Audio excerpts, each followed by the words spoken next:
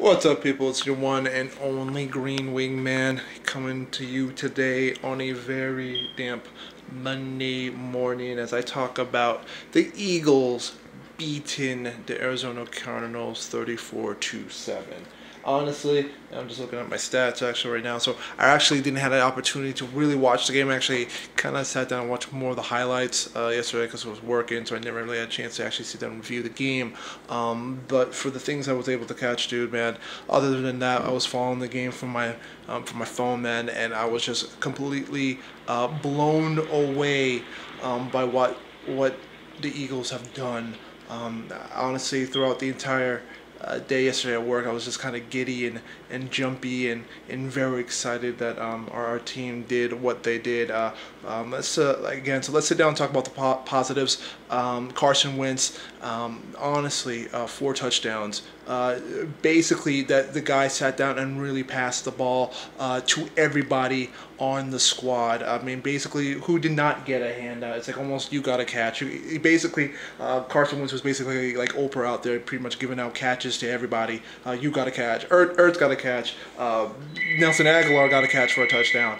Torrey Smith got a, you know, what bound what what 73 yards for a touchdown. Everybody was getting the ball from Carson Wentz. Carson Wentz played a phenomenal game, man, incredibly phenomenal. Uh, such great work from him, such great poise in the pocket. Um, ran when he needed to, uh, made the check down plays, sat down and changed up plays, went back to him again, switched it around the other side.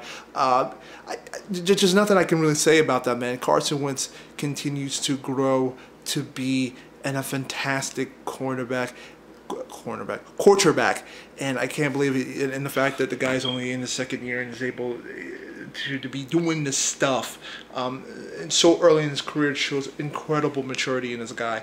Uh, this dude is a franchise cornerback, one no doubt.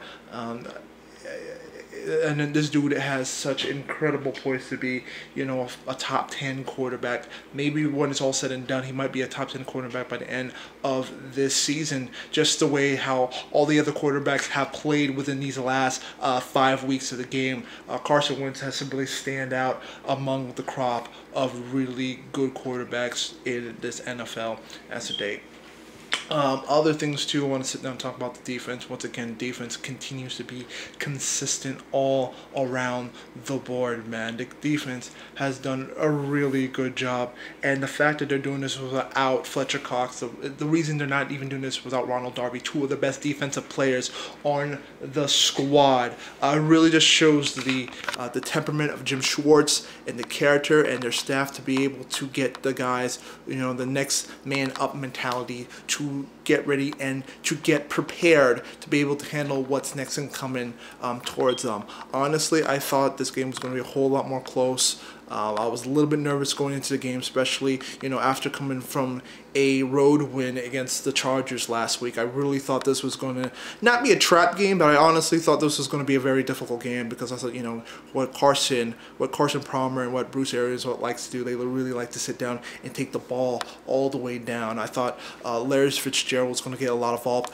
Honestly, um, from you know watching. Uh, uh, recording and watching the game and watching the highlights, uh, basically Fitzgerald was basically nowhere to be found. I was really um, incredibly, uh, really, really surprised. I think it's uh, really incredible what that defense has done um, over these last five weeks. Um, just great, great control and great temperament um, from everybody, man. But um, and, and, and you know what's so um, very exciting for me as an Eagles fan, uh, the fact uh, that the fact that we're, we're, we're, doing this all without our best two players. So imagine once we sit back and we get Ronald Darby back, once we get Fletcher Cox back, along with this great four front line. I think it's very great. I think it's incredible, and I think it's it's going to do a magical and it's going to do wonders.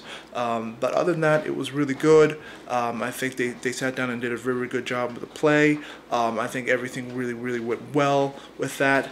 And I know, I, I, mean, there's nothing much I can really sit down and say um, about this win um, from the um, Arizona Cardinals. So, um, yeah, uh, the Eagles are coming from a very uh, short week.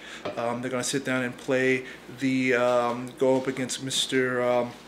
Cam Newton and the Panthers. Uh, they travel to Thursday, so it's going to be very weak. So I think I'm going to label this as week part one um, because it's still part, you know, sort of part of the uh, of the fifth week um, of the game. But again, I just want to be able to sit down and get my thoughts in because I never, again, didn't really have a chance to watch the game yesterday, so I had to watch a lot of. Uh, a lot of um, highlights from the NFL.com and stuff like that, just to kind of be able to kind of get my, my my quick thoughts about it. But dude, it looked very good. Uh, Nelson Agholor looked fantastic. Um, um, did a little bit of showboat in there. I love how he was able to cross off the other defender and then uh, did a little bit of the DeSean Jackson tribute.